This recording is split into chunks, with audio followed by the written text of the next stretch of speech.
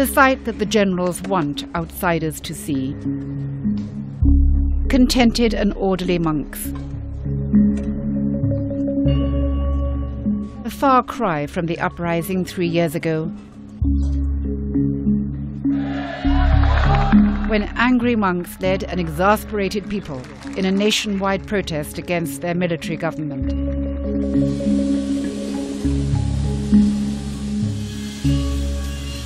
To prove to the outside world that the rebellion is over and the country is going about its normal business, the generals are holding an election.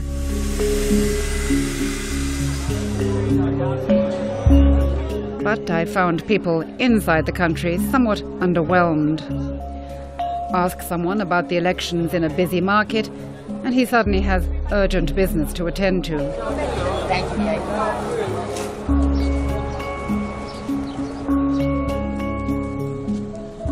The sight of anyone on the campaign trail is rare and doesn't draw a crowd. There's apathy in the towns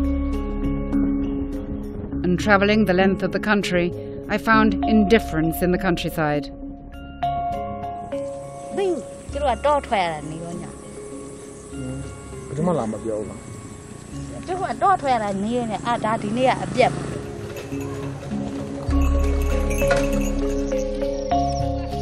And can you blame them?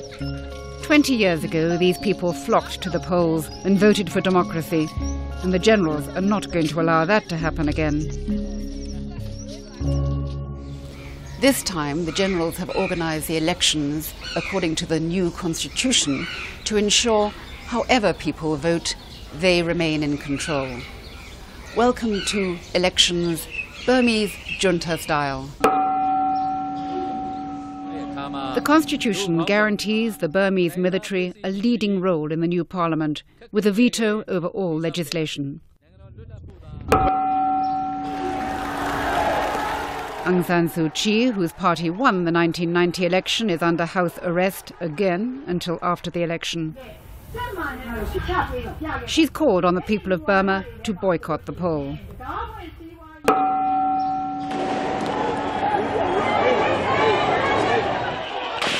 Following the uprising and the brutal crackdown by the military three years ago, more than 2,000 of her supporters remain in prison.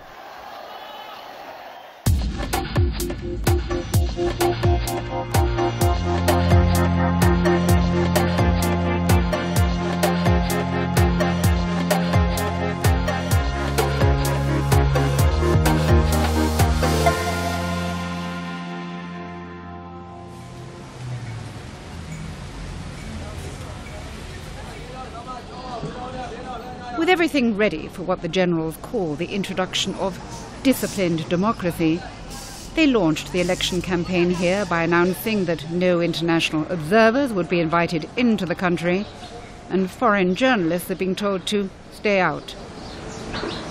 Every day, the Burmese newspapers carry a public health warning, telling people not to listen to the BBC, among others, because we're sowing hatred among the people with our killer broadcasts.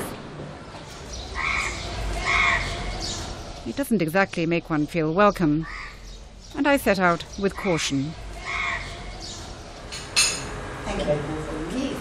Taking tea in a leafy Rangoon suburb with three ladies whom people here call the Three Princesses. Students, her students like Aung San They're all friends of Aung San Suu Kyi, and, like her, their fathers were all political leaders, prime ministers after independence in 1948. We had no hard feelings about the British. We are betraying. But they're all defying their friends' call for a boycott and standing as prospective parliamentary candidates. Why? because this election represents only the beginning of process of fostering democracy because according to the 2008 constitution votes or no votes the new government will be formed if the democratic forces won't participate in this election the military and their cronies or proxies, they will rule this country for another hundred years. Now, you were a childhood friend of Aung San Suu Kyi. Don't you feel you might be betraying her? No, not at all. We love her personally. She's like a sister to me. So whatever we are doing is for the sake of the people and the country, not for us or for our families. I'm sure she'll understand.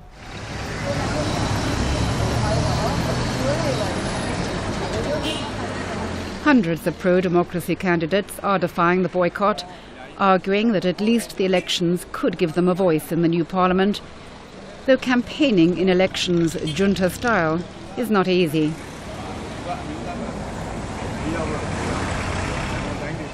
They have to fund their own campaigns. They're not allowed to criticize the current government, and they must get permission for any meeting of more than five people. We caught a glimpse of one such gathering through a car window. All election meetings are by invitation only, with the men from military intelligence checking that no one is there who's not on the list.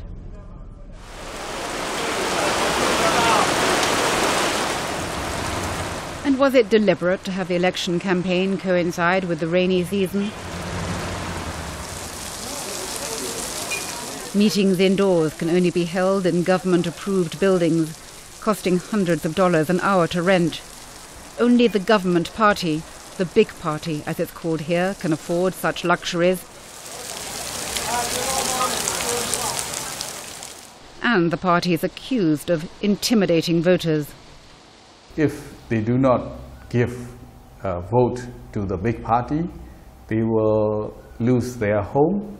And some voters, they have a warning that if they do not vote the big party, they will lose their shops in the market, you know, something like that. So, you know, this kind of, you know, pressure is suffering uh, right now.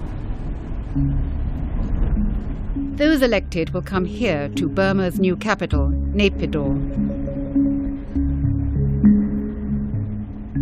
where foreigners are not encouraged and taking pictures of government buildings is forbidden. We filmed eight lane highways and modern town planning seen nowhere else in the country. Huge ministry buildings are separated from one another by acres of jungle plain on which the city is still being built.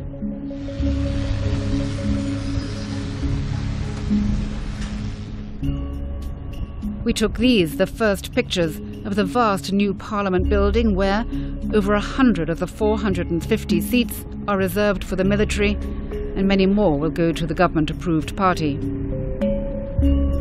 There are palaces for the generals and smart accommodation blocks for civil servants, who apparently complain about living here. There are bus stops in the new city, but no buses and no mobile phone signal either. But at 99 meters high, there is the tallest pagoda in the country. So why build an expensive new capital in one of the poorest countries of the world? Many would argue that it's just another example of the man who's been Burma's military dictator for nigh on 20 years now, Than Shwe's extreme paranoia and megalomania.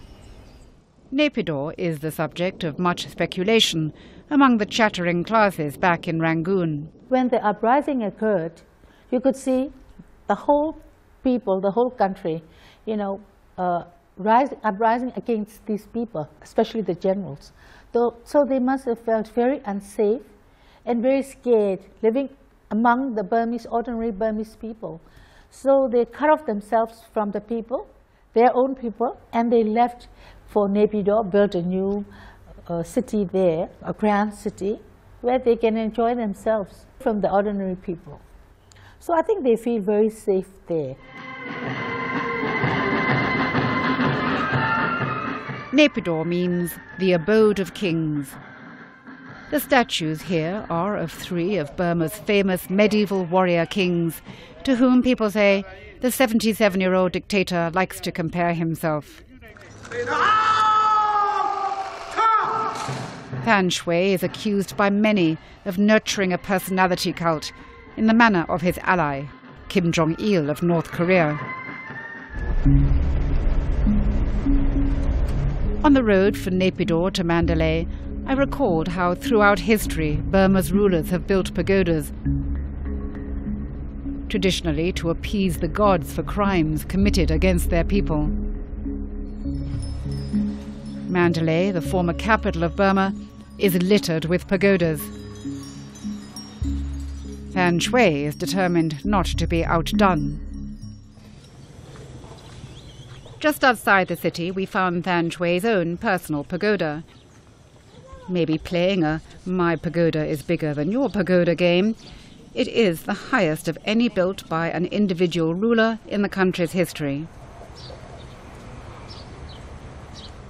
But Than Shwe needs to be seen with the guardians of the faith here to give him respectability, a sight which is provided regularly on state television. အဲဒီနောက်နိုင်ငံတော်တန်ခါမာနာကောက်ဖွဲ့ကျိုးတော်ဆောင်ညောင်လုံးဆရာတော် Monks willing to be filmed with the generals who killed and imprisoned so many of their number in the uprising three years ago. ဥက္ကဋ္ဌ Who are they? ကာကွယ်ရေးဦးစီးချုပ်ကာကွယ်ရေးဦးစီးချုပ် သူတို့ကတကယ်ဗုဒ္ဓဘာသာမဟုတ်ပါဘူးအေးဗုဒ္ဓဘာသာ They are not genuine Buddhists. They would betray the Buddha himself if they had to. အဲ့တော့သူတို့ကအတွေးတူအောင်ဒီတန်ဃာတွေကိုလုပ် These monks who collaborate with the generals are given special favors. If any of them rebel, they are removed. The generals are afraid that the monks and the people might join together again. But if they can discredit the monks by association with them, then there will be divisions between the monks and the people, and the monks won't be able to lead anymore. This senior monk is one of the few leaders who managed to avoid arrest after the 2007 uprising. It doesn't stop him condemning the regime,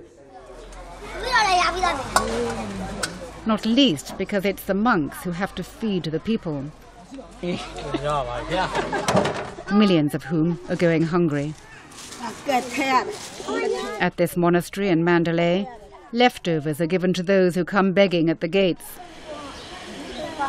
Children who should be in school spend their days scavenging for food in a country which spends 40% of its wealth on the army, and 1% on health and education. The standard of education in the country is very low. They don't educate people, so that the ordinary people are unable to analyse the gravity of the situation, and that helps the current government stay in power. And is this a deliberate policy? Yes. If the people were properly educated, they'd rebel.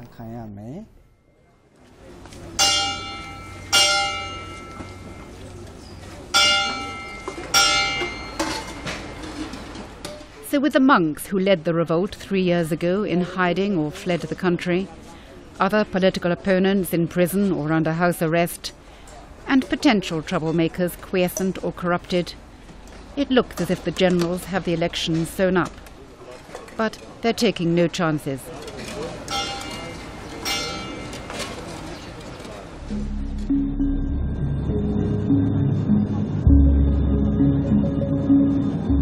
We flew a thousand kilometers north to Kachin State, which borders China, one of the ethnic states which make up some 60% of the country.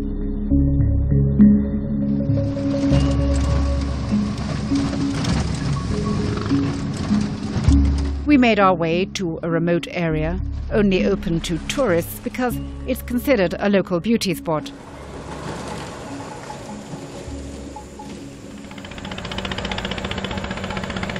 The confluence of rivers from China and India forms the Irrawaddy River, which flows the length of the country.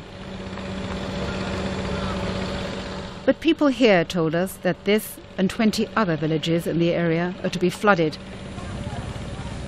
to create a dam to sell power to China, and they're being ordered to move out. The villagers have never had running water, let alone electricity, and now their homes are to be washed away. For them, the forthcoming elections are hardly a priority.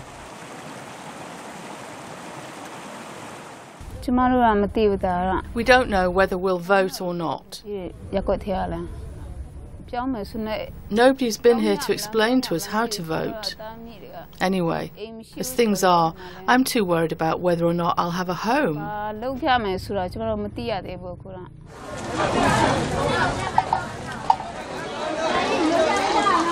In the capital, Myitkyina, the government is refusing to allow local ethnic political leaders to stand in the elections, those who might speak for local grievances.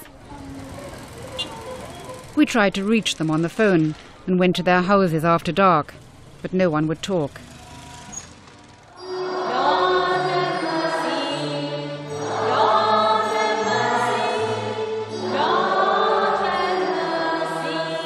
Nearly half the people in the state are Christian.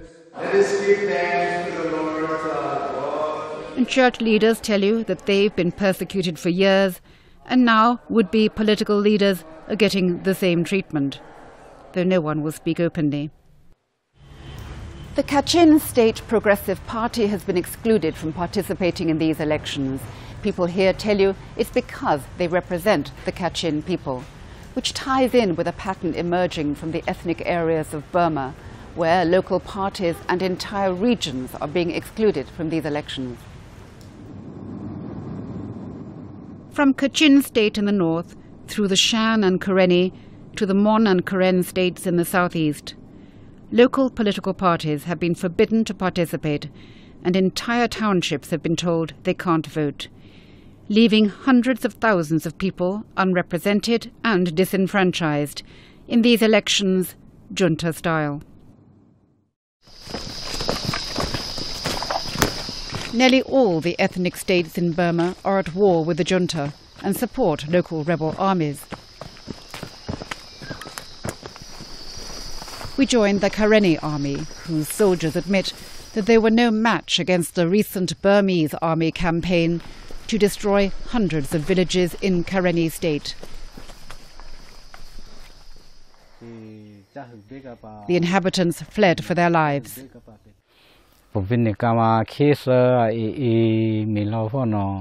The government soldiers started burning the village and then opened fire with machine guns.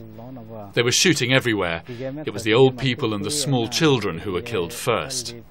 Everyone was terrified, running in all directions, trying to escape the bullets. They said we did not deserve to live because we support the Karenni rebel army. Those of us who survived ran into the jungle and then started walking.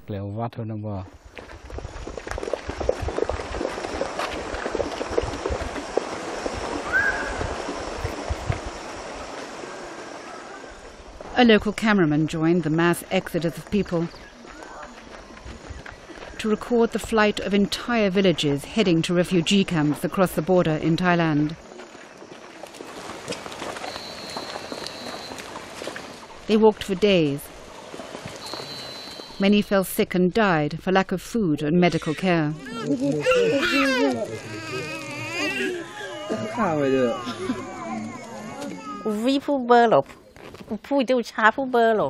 I had a bag on my back and a baby in each arm when I fled. For the pregnant women, it was worse. Some had to stop on the way to give birth. When the government soldiers caught up with them, they killed them. We all had to keep moving. Some women were so pregnant that they could barely walk, so they got stones and beat their stomachs to kill their babies, to miscarry so that they could escape from the government soldiers. The soldiers have noted more units of the Burmese army closing in, the nearest on a neighbouring hilltop. And the arrival of foreign engineers. All this activity, they say, is to construct a network of dams in the state.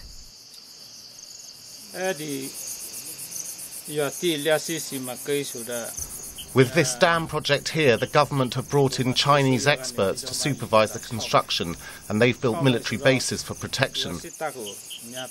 They've laid mines everywhere, which are really dangerous for the local people.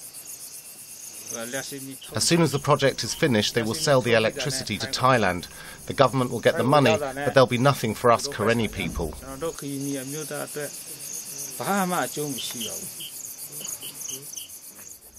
The Burmese generals aren't stupid, or they wouldn't have held on to power for so long. The program of demolishing villages and building dams in Karenni state is being repeated the length of the rivers which divide Burma from Thailand and further north from China. Wherever there are ethnic rebel armies, the junta is sweeping away the villages who support them.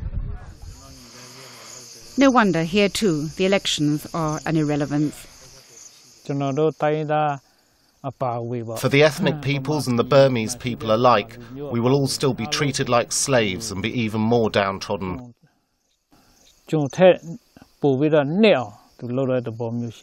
This election is only to legitimize the generals so they can hold on to power.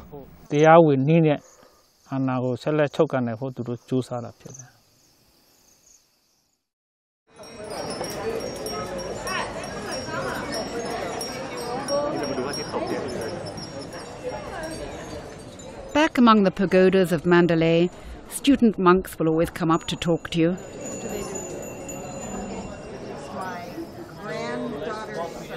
They want to improve their English, but no one would talk about politics in a public place.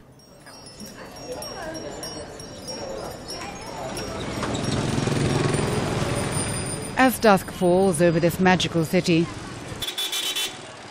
Come on, Chinese. it makes a refreshing change to find a couple who have no such inhibitions.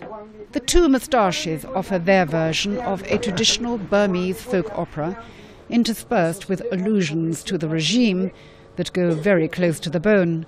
Oh, I'm afraid this guy. I'm afraid uh, this government. I'm afraid this a Mara. Many people killing. Oh. which is why they've both been jailed and are now only allowed to perform to tourists in English. In the slum, in the clinic, three times. Who was big house? After their show, I asked Law Paul what he thinks about the elections. New border, old white. So will you vote? Are you going to vote? No, I stay at home. I must stay at home because uh, uh, because uh, uh, we be already our vote uh, 21, 20 years ago. Everybody love her. Law Paul met Aung San Suu Kyi 20 years ago and, like so many, was smitten. His is an opinion you hear often. We voted for the one we wanted in 1990. She can't stand in these elections, and so why bother?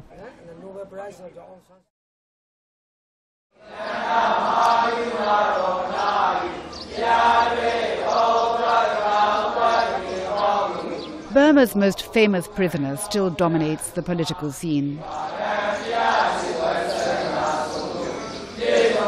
The lady, as they call her, was born on a Tuesday.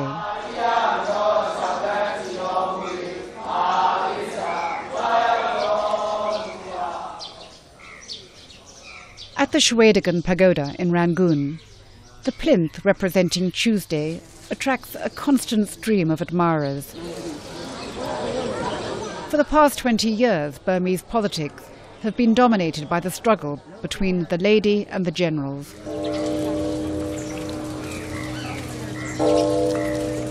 Whether people obey her call for a boycott or vote in these elections junta style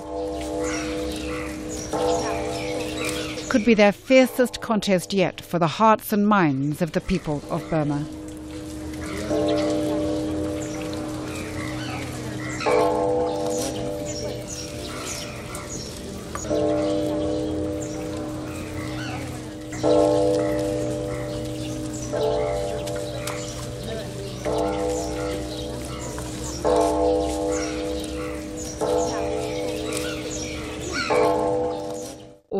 All legislation.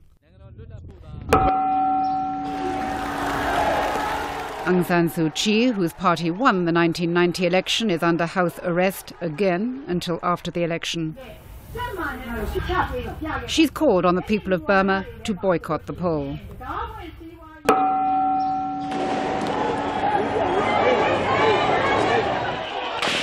Following the uprising and the brutal crackdown by the military three years ago, more than 2,000 of her supporters remain in prison.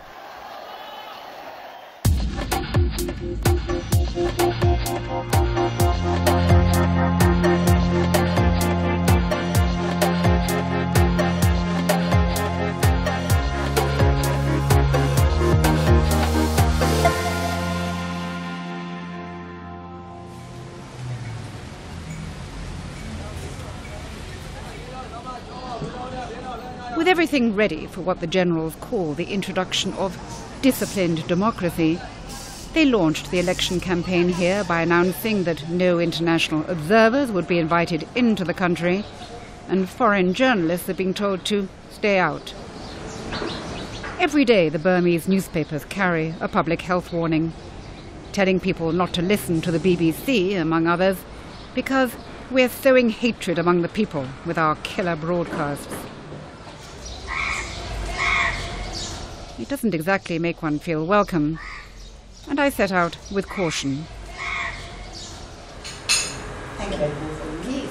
Taking tea in a leafy Rangoon suburb with three ladies whom people here call the Three Princesses.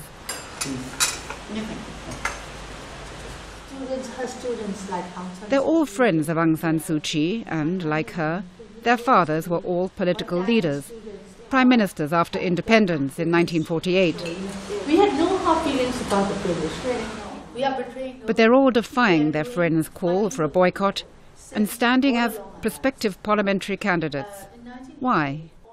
Because this election represents only the big. For Naypyidaw built a new uh, city there, a grand city, where they can enjoy themselves from the ordinary people.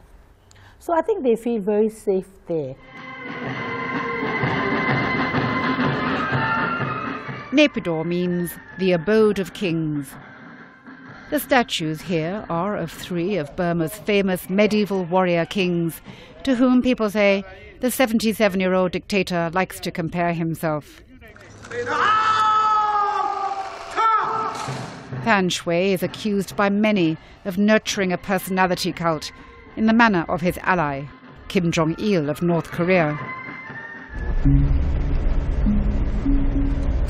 On the road from Naypyidaw to Mandalay, I recalled how throughout history Burma's rulers have built pagodas, traditionally to appease the gods for crimes committed against their people. Mandalay, the former capital of Burma, is littered with pagodas. Than Shwe is determined not to be outdone. Just outside the city, we found Than Shwe's own personal pagoda. Maybe playing a My Pagoda is Bigger Than Your Pagoda game, it is the highest of any built by an individual ruler in the country's history.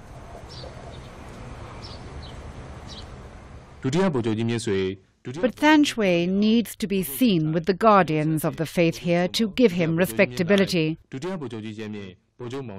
a sight which is provided regularly on state television. Monks willing to be filmed with the generals who killed and imprisoned so many of their number in the uprising three years ago. Who are they?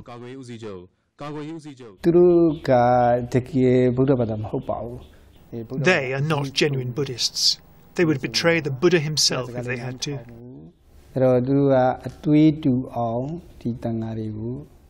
These monks who collaborate with the generals are given special favors. If any of them rebel, they are removed. The generals are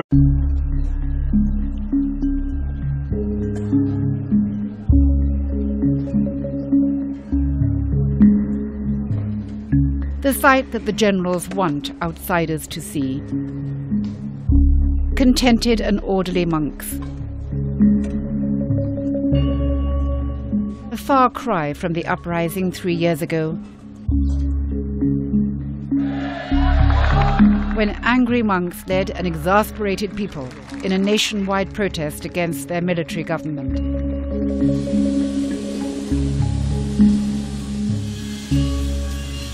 To prove to the outside world that the rebellion is over and the country is going about its normal business, the generals are holding an election.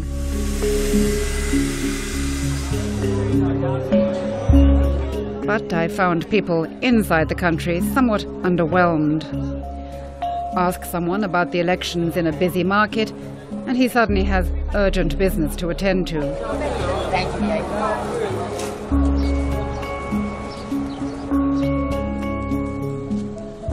The sight of anyone on the campaign trail is rare and doesn't draw a crowd. There's apathy in the towns. And travelling the length of the country, I found indifference in the countryside.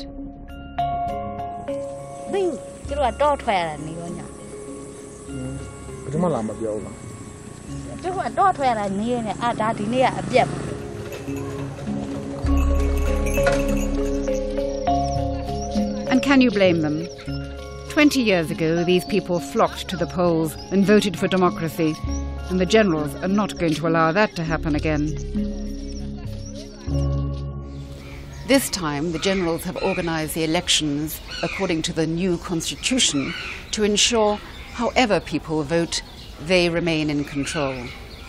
Welcome to elections, Burmese junta style.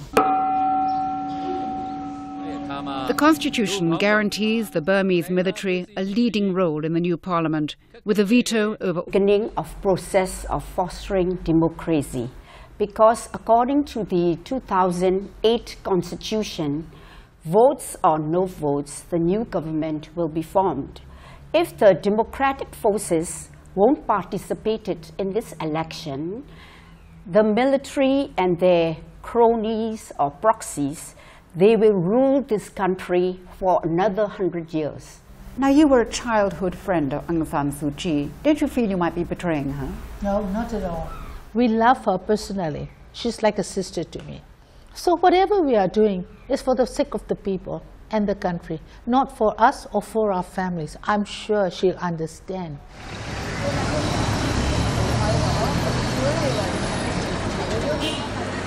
Hundreds of pro democracy candidates are defying the boycott, arguing that at least the elections could give them a voice in the new parliament, though campaigning in elections junta style is not easy.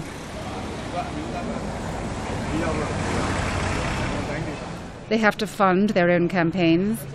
They're not allowed to criticize the current government, and they must get permission for any meeting of more than five people.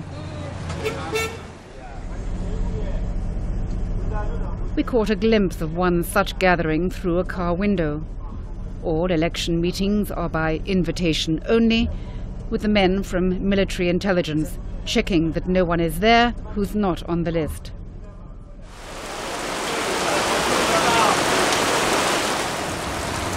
And was it deliberate to have the election campaign coincide with the rainy season? Meetings indoors can only be held in government approved buildings, costing hundreds of dollars an hour to rent. Only the government party, the big party as it's called here, can afford such luxuries. And the party is accused of intimidating voters. If they do not give a vote to the big party, they will lose their home. And some voters, they have a warning that if they do not vote the big party, they will lose their shops in the market, you know, something like that. So, you know, this kind of, you know, pressure is suffering uh, right now. Those elected will come here to Burma's new capital, Naypyidaw, where foreigners are not encouraged and taking pictures of government buildings is forbidden. We filmed eight-lane highways and modern town planning seen nowhere else in the country. Huge ministry buildings are separated from one another by acres of jungle plain on which the city is still being built.